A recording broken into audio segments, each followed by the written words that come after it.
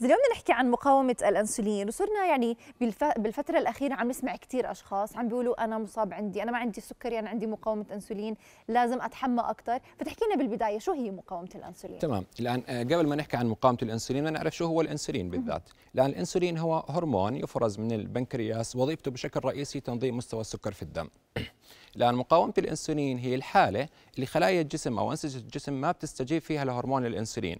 فبصير الإنسان لما يأكل في عندنا ارتفاع مستوى السكر في الدم بس هذا السكر ما بدخل على الخلايا نتيجة عدم استجابة المستقبلات الموجودة على أغشية الخلايا للإنسولين. فبالتالي بيرتفع عندنا مستوى السكر في الدم والبنكرياس بالتالي بيرجع بيرفع مستوى الإنسولين في الدم. فبصير في عندنا كاسكيد من ارتفاع مستوى السكر في الدم وارتفاع مستوى الإنسولين في الدم. فهي هي مقاومة الإنسولين بشكل مفصل.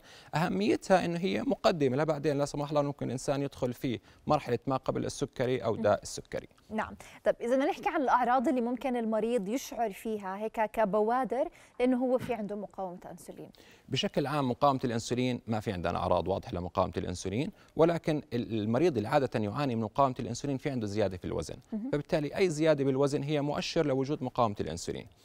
الآن. عدا عن ذلك في عندنا بعض العلامات التي قد تظهر على الجلد عند المرضى المصابين بمقاومة الإنسولين. بيكون في عندنا تصبغات أو سماكة في الجلد. خاصة هاي التصبغات تحدث في منطقة الرقبة أكثر شيء أو في منطقة تحت الإبط. بيكون في عندنا سواد على الجلد. وأحيانا هذا السواد بنحكي له إحنا ال acanthosis nigricans أو الشواك الأسود. بكون مصاحب skin tags اللي هي زوائد لحمية.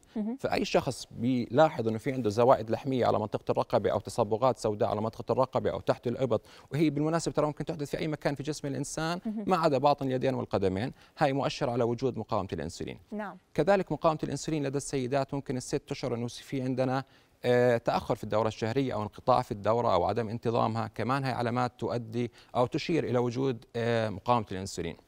أحيانا الست تصاب بمقاومة اللي هي أو بمتلازمة التكيس المبايض بنحكي لها أو تأخر الإنجاب كمان هي علامات تؤدي إلى أو تشير إلى وجود مقاومة الإنسولين. أحيانا كذلك نتيجة تراكم الدهون في منطقة العضلات ممكن الشخص يشعر في آلام بالعضلات نتيجة مقاومة الانسولين كمان مؤشر على وجود مقاومة الانسولين نعم. وهي ولكن هي مش ضروري ولا شرط ولا يعني إنه إذا هاي الحالة موجودة عندنا معناته في مقاومة انسولين لا لا. ذكرت إنه سيدات في عندهم اختلاف يمكن بالأعراض اللي ممكن تظهر عليهم. إذا بدنا نحكي عن مقاومة الانسولين إذا هل في نسبة معينة بتبين لنا إذا بتصيب الرجال أو بتكون عند الرجال أكثر من النساء أو ما في أي رابط؟ هي مقاومة الانسولين تصيب الرجال والنساء على حد سواء النساء مش أكثر عرضة للإصابة بمقاومة الانسولين ولكن النساء بينتبهوا لوزنهم أكثر من الرجال. عشان هيك معظم المرضى اللي بيشوفونا أو بيتابعونا بيجونا على العيادات بيشكوا من مقاومة الانسولين هم السيدات. نعم. وما بيديروا بالهم على وزنهم بيضلوا يشيكوا على الوزن تفرق معها الوزن أكثر من الرجال. تأخرات أو التغيرات الهرمونية المرتبطه بالدورة الشهرية كمان بتلاحظها السيدات مشان هيك معظم السيدات اللي بيتابعوا أو بيجونا على العيادات بيشكوا مقاومة الانسولين هم سيدات. الرجال بشكل عام ما بيهتمش كثير لوزنه بيعتبر الكرش وجاهة ما بتوعى مصابه سكري فبالتالي بيجونا مرحلة السكري لاحقا. نعم. وهو كل ما يعني تم الكشف مبكرا كل ما بيكون أفيد لأنه هم بيحموا حالهم من الإصابة بالسكري. بالضبط أنت بتقدر تمنع الإصابة بالسكري إذا عرفت إنه في عندك مقاومة إنسولين. نعم. طيب إذا نحكي عن الأسو... الأسباب اللي ممكن يصير هل هو العامل وراثي أو زيادة سكر؟ تحكي لنا أكثر okay. الآن في كثير أسباب لمقاومة الإنسولين ولكن السبب الرئيسي لمقاومة الإنسولين هو زيادة الوزن. الآن زيادة الوزن إحنا بنعرفها بناء على مؤشر كتلة الجسم. مؤشر كتلة الجسم إحنا بنحسبه اللي هو الوزن بالكيلوغرام على الطول بالمتر مربع. إذا كان مؤشر كتلة الجسم عندي بعرفش إذا في صورة إحنا كنا حاطينها. نعم رح نعرضها okay. إذا مؤشر كتلة الجسم أنا عندي أكثر من 25 فأنت شخص مصاب بزيادة الوزن. إذا في عندنا زيادة في الوزن فأنت معرض لمقاومة الإنسولين. إذا كان عندي مؤشر كتلة الجسم أكثر من 30 فإحنا بنحكي هنا عن السمنة. نعم. أكثر من 35 هون بنحكي عن السمنة المفرطة. أه. كل ما زاد مؤشر كتلة الجسم كل ما كانت نسبة الإصابة بمقاومة الإنسولين ومشاكل مقاومة الإنسولين عندنا أكثر. نعم. الان عدا عن مؤشر كتلة الجسم. إحنا كمان نطلع على شيء اسمه نحكي له محيط الخصر. الان محيط الخصر اللي بتدل على السمنة المركزية. إذا كان محيط الخصر لدى الرجال أكثر من 102 سم فأنت عرضة أكثر إنه يصير في عندك مقاومة للإنسولين. إذا بالنسبة للسيدات إذا كان محيط الخصر عندنا أكثر من 88 سم ل 35 إنش كمان أنت معرض أكثر يصير في عندنا مقاومة إنسولين. الآن هذا السبب الرئيسي لمقاومة الإنسولين هو زيادة الوزن. نعم. الآن عدا عن زيادة الوزن في عندنا كمان كثير علامات أو مسببات لمقاومة الإنسولين. وهي بالمناسبة هي عادات صحية خاطئة الناس بتتجاهلها من قلة النشاط البدني. إحنا ما بنمارس رياضة بشكل عام ما حدا فينا بيمشي أو بيلعب رياضة. الآن ال ال النوم بطريقة خاطئة الناس اللي بتسهر طول الليل وتنام الصبح هذول عرضة أكثر يصير في عندنا مقاومة إنسولين. النظام الغذائي السيء. الناس اللي بتعتمد بشكل رئيسي على الأكل الجاهز والنشويات والدهنيات. معرضين أكثر يصير في عندهم مقاومة انسولين لكن كمان ما بدناش نحكي إنه كل شيء عامل وراثي ولكن هناك استعداد وراثي. في عندنا قابلية جينية لمقاومة الإنسولين خاصة إذا في عندنا تاريخ عائلي للإصابة بداء السكري من النوع الثاني. إذا الواحد والده أو والدته مصابين بداء السكري من النوع الثاني هو أكثر عرضة إنه يصير في عنده مقاومة إنسولين. نعم. كذلك الحمل بحد ذاته زيادة الوزن بتصير خلال الحمل. التغييرات الهرمونية اللي بتصير خلال الحمل بتخلي الست عرضة أكثر إنه يصير في عندها مقاومة إنسولين وهذا اللي بسبب لنا إحنا سكر الحمل. نعم. سكر الحمل شائع وسبب سكر الحمل هو بكل بساطة مقاومة إنسولين. كذلك هناك بعض العلاجات التي قد تؤدي إلى مقاومة الإنسولين زي الكورتيزونات حبوب منع الحمل. أدوية التشوش النفسي أو الذهان كمان هي بتساعد على الإصابة بمقاومة الإنسولين. نعم.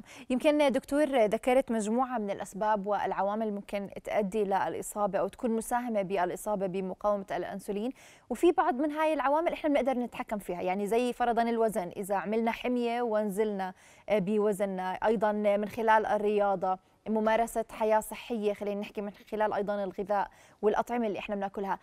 قد إيه هذا رح ينعكس على مقاومة الإنسولين إذا كنا إحنا مصابين؟ قد إيه ممكن نلاقي نتائج مباشرة؟ 100% مقاومة الإنسولين هي شيء ريفرسبل يعني إحنا بنقدر نسترده. ماشي الحال؟ بكل بساطة مقاومة الإنسولين هي سبب زيادة الوزن. إذا أنا قدرت أتخلص من من هذا الوزن الزائد اتبعت نظام غذائي صحي لعبت نشاط رياضي داومت على الرياضة مش فقط شهر وشهرين داومت على الرياضة كل هاي الأشياء وزن أنا راح ينزل الإنسولين راح يرجع الخلايا تستجيب للإنسولين بشكل فعال تنتهي مقاومة الإنسولين وتحمي نفسك من الإصابة ب من داء السكري والمشاكل الناجمة كذلك عن مقاومة الإنسولين عدا عن داء السكري. نعم، طيب إذا نحكي عن التشخيص كيف بيتم التشخيص؟ okay، الان تشخيص مقاومة الإنسولين، أنا بهمني الناس تعرف إنه مقاومة الإنسولين هي مش مرض بحد ذاته. مقاومة الإنسولين هي مقدمة لداء السكري أو ما قبل السكري وهي قد تكون كذلك جزء من متلازمة الاستقلاب. نعم. فهي مكون من متلازمة الاستقلاب وهي مقدمة لداء السكري. فتشخيص مقاومة الأنسولين بيعتمد على العلامات والأعراض اللي إحنا حكيناها قبل شوية.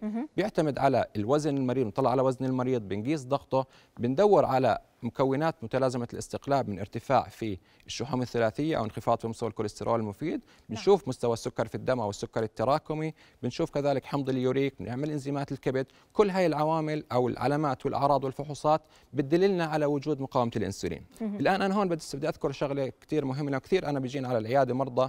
والله أنا عامل فحص مقاومة أنسولين. يا دكتور أنا في عندي مقاومة أنسولين. نعم.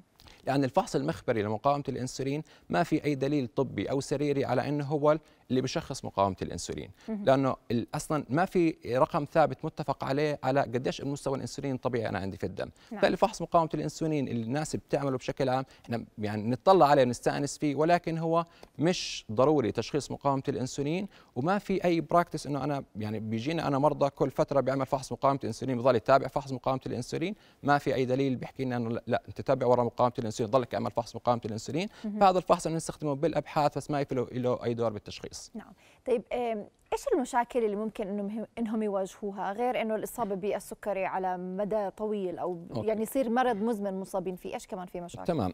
الآن الشيء الرئيسي؟ زي ما اتفقنا هو داء السكري. لأن عدا عن داء السكري مريض مقاومة الإنسولين هو أكثر عرضة انه يصير في عنده ارتفاع بضغط الدم ارتفاع بالكوليسترول والشحوم الثلاثية أمراض القلب والأوعية الدموية وتصلب الشرايين. كذلك في كثير حكي الآن مقاومة الإنسولين أصبحت مرتبطة ببعض الأورام كأورام الثدي والرحم والقولون. كذلك مرتبطة ببعض الأوراق ببعض الأمراض العصبية والنفسية كالاكتئاب والألزهايمر أو الخرف. بالإضافة طبعا زي ما حكينا في البداية تكيس المبايض وتأخر الإنجاب لدى السيدات وكذلك انخفاض مستوى التستوستيرون وتأخر الإنجاب لدى الذكور. فهي كلها ناجمة عن مقاومة الأنسولين. نعم. طيب دكتور إذا بدنا نحكي العلاجات يمكن حكينا ممكن إحنا يعني مجموعة من العوامل ممكن نلعب فيها الوزن الرياضة غيرها ممكن تساعدنا. هل في علاجات ممكن كمان يأخذوها على شكل أدوية ممكن تفيدهم أيضا؟ تمام. الآن العامل الرئيسي للوقاية وعلاج من مقاومة الأنسولين نكون متفقين عليه هي الرياضة والنظام الصحي. هذا هذا الشيء الرئيسي. الآن نعم هناك بعض العلاجات اللي بتعمل as نحكي لها insulin sensitizer بتخلي الخلايا أو الأنسجة تستجيب بشكل أفضل للأنسولين. في عندنا نوعين من العلاجات موجودات في الأسواق اللي هم الميتفورمين أو ال pioglitazone بس كذلك هاي الأدوية ما بننصح أي مريض يروح يأخذ هاي الأدوية بدون ما يكون في عندنا استشارة للطبيب لأنه إحنا ما بنستخدمها مش كل مريض مقاومة إنسولين بنعطيه دواء. العامل الرئيسي هو في البداية بدك تروح تحرق الدهون الموجودة عندك في الكبد والعضلات العضلات عن طريق النشاط الرياضي. بعدين تعمل حمية حمية غذائية تعتمد بشكل رئيسي على الخضروات والألياف قليلة النشويات والدهنيات اللي تنزل وزنك. بعدين تلقائيا استجابة الخلايا للإنسولين ترى راح تصير ممتازة بدون ما تستخدم الأدوية. العلاجات. إحنا بشكل عام العلاج مش مش first line مش أول شيء إحنا بنروح على العلاجات. إحنا أول شيء بروح رياضة حمية. في بعض الحالات إذا أنا بكون في عندي عوامل اختطار إذا بكون أنا عندي داء ما قبل السكري موجود أو إذا في عندي تاريخ عائلي للإصابة بمرض السكري أو في عندي سمنة أو في عندي سكري حامل أو صابها سكري حامل قبل هيك أو تكيس مبايض أنا بعطي هاي الأدوية. بس مش كل مريض مقاومة إنسولين أنا بعطيه الأدوية اللي بتعمل على زيادة استجابة الخلايا للإنسولين. نعم. فيعني يمكن هي ان نعيش حياة صحية من خلال الأكل الرياضة حركتنا تكون أكثر يمكن هذا ونحافظ على وزننا بما يتناسب أكيد مع حياتنا. هذا يمكن الأسلم والأصح لنا شكرا لوجودك معنا دكتور مراد شطناوي وحضرتك استشاري الأمراض الباطنية والغدد الصم والسكري. أهلا وسهلا بحضرتك. شكرا لكم.